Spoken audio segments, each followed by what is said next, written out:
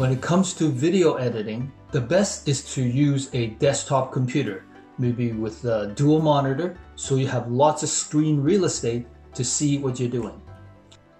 But if you must use a laptop computer, maybe you're away on vacation and you want to check how your edits are coming along, then DaVinci Resolve now has a new cinema mode to give you full screen of your video when you are doing coloring. Let me show you how that's done. So here we are in DaVinci Resolve. I have a clip here of my grandson Chase.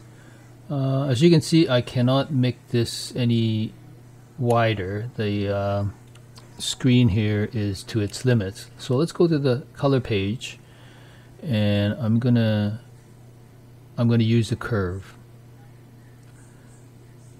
Once I have that, I have to open this up and then now I could have this curve panel and I could resize it to any way I want. So keeping that about here, I will go to the workspace and then I would choose the view mode and I would use a select cinema viewer.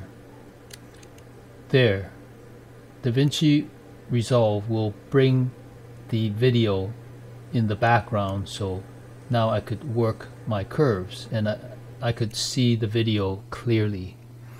And I could choose the blue and I could make changes to different colors um, that I like. And now I'm able to see the color in the background of the video and I could change it and modify it to any way I want. And now I could get rid of this and play the video and everything is in full screen. I click on this uh, button here to minimize it and go back to the original color page. Now let's undo that and let's go to the um, color warper. The color warper it functions relatively the same way. And I would again open up the video in cinema mode so I could change the color warper to the color that I want. And again this is happening at the same time that I'm changing the color. And you could see that right away in the background. And I could move this around checking out different aspect of the uh, photo, the video.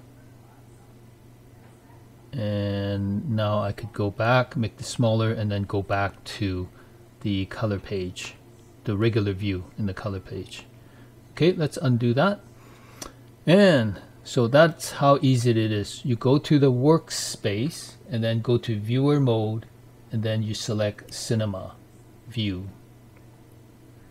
And that's what you get. Well, I hope this short video was helpful and you learned a little bit more about DaVinci Resolve. If you haven't subscribed to my channel yet, please do. And remember to click the bell so you'll be notified next time I upload a new video. Remember, keep on filmmaking and have fun creating. Bye for now.